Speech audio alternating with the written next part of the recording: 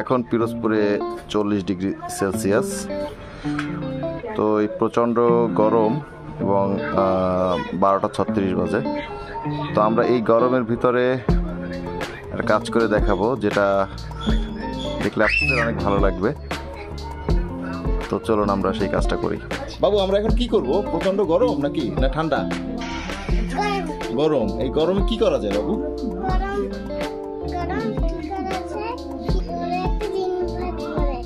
রোদে ডিম ভাজবে? হ্যাঁ। আচ্ছা ঠিক আছে চলো তো।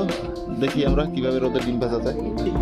আমরা এই যে ডিম ভাজার জন্য একটা ফ্রাই প্যান ডিম লবণ এবং তুমি আরও একটা ডিম আনছো? আর ডিম লাগবে না এটা রেখে আসো। আমরা এখন এই ফ্রাই প্যানটা কিছুক্ষণ এই যে প্রচণ্ড রোদ সেই রোদের ভিতরে রাখব। রাখার পরে দেখে উত্তপ্ত হওয়ার পরে আমরা দেখি পারি কিনা ডিমটা ভাজতে। না এখন কাটতে হবে না আমরা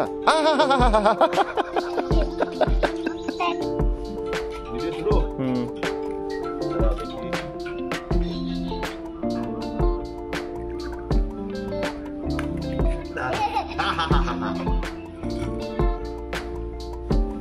ডিম শক্ত হয়ে যাবে দেখ আকাম বললাম তো এটা দেখো না তা এটা এটা একটু রাখতে হবে না? অত দূর দিয়ে না তুমি দাঁড়িয়ে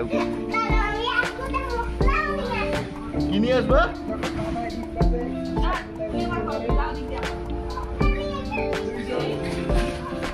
আমরা এদিকে এদিকে দেখাই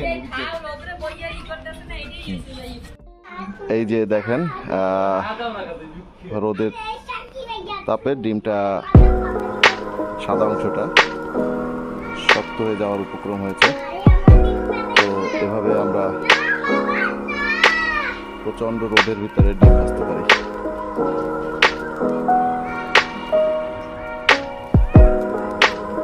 এখন আমরা এটা উল্টে দেবো, উল্টে দেওয়ার পালা। আরে ডিম!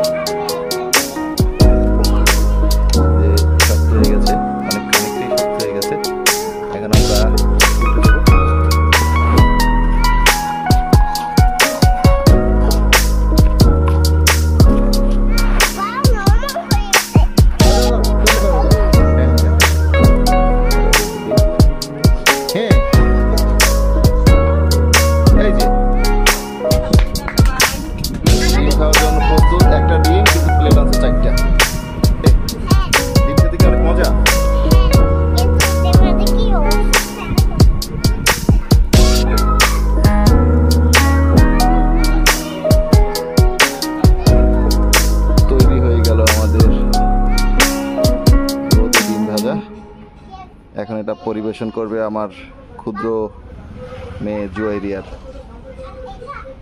হ্যাঁ জুয়েরিয়া দেখি তুই সর সর সর সর সর সর সর। সর